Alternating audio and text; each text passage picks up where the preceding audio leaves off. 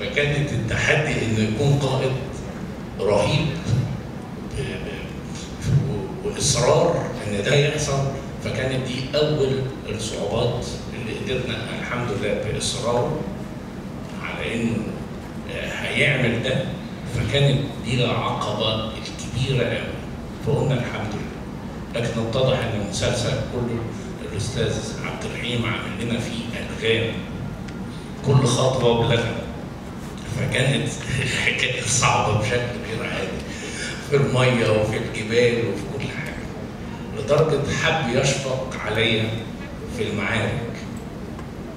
فعمل معارك بشكل أسطوري برضه. ولكن بطريقة آه، حكي ورباط. فأنا بكيت. صح؟ بكيت حقيقي. قلت لا. لما يكون عندنا زعيم وبطل بالشكل ده وأنا علشان أوفر أو شفقة بالمجهود إنه ما يطلعش بشكل كويس إنه أعمله حكي على الربابة لا. إحنا نعمل معارك وهتكون مكلفة جدا. و يعني آه، مع الحكي في نفسه فقدر يعمل الاثنين واستعنا بمخرج عالم اللي هو بول وسطى ده عمل مملكة الخواتم وكان هو المخرج المعارك لسبيلبرج يعني يعتبر رقم واحد في العالم. ولكن للأسف كان الفترة الزمنية لأننا كنا بنعرض المسلسل على الهواء في رمضان كانت قليلة. وأعتقد إن لو كان عندنا مساحة من الوقت كنا هنشوف معارك تضاهي المعارك اللي بتحصل في أكبر افلام عالميه. ده كانت حاجة تانية. المذهل الحقيقي إن كان في صراع وتحدي ما بين جميع النجوم.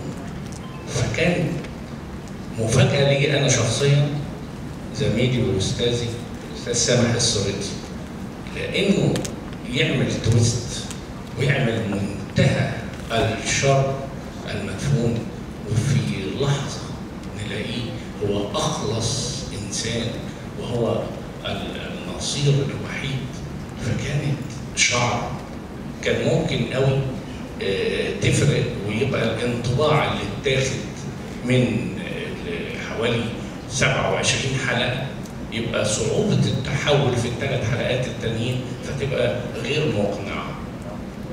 للرصيد اللي هيسيبه ال 27 حلقة. فالحمد لله كان التوفيق بإمكانيات الأستاذ سامح السريتي الفنية العالية جدا.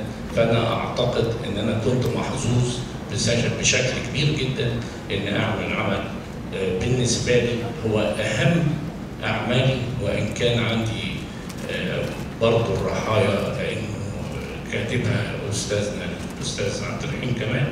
فالعملين أنا شايف إن شيخ العرب همان توج رحلتي أنا شخصيا الفنية. والعمل ده الوحيد في جميع الأعمال الدرامية في مصر اللي عرض في ألمانيا في 11 قناة. العمل الوحيد اللي تم ترجمته إلى الألماني وتعرض بعدها بسنتين وتم تكريمنا من جاليات العربية في أمريكا في ميشيغان. كان هو العمل الوحيد شيخ العرب. أنا سعيد وأنا في وسطكم وأطلت إليكم عليكم يعني سامحوني معلش شكرا.